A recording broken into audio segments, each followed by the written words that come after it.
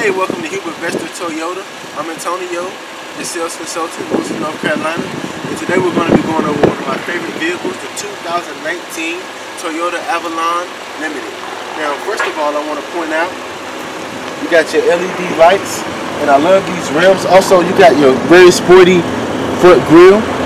Also, I want to show you something.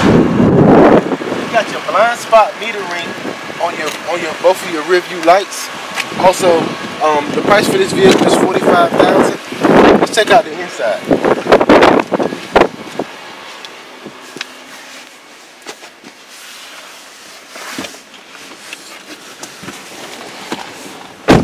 One of my favorite features of this vehicle is the auto adjust seats.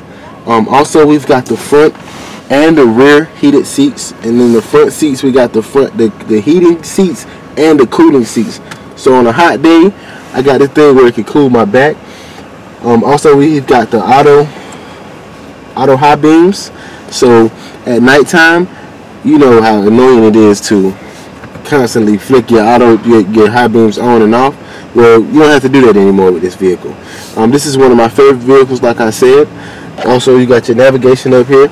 It's 45000 If you have any other questions about this vehicle, I'm Antoneo Atkinson at Hubert Vester Toyota, where we are the difference.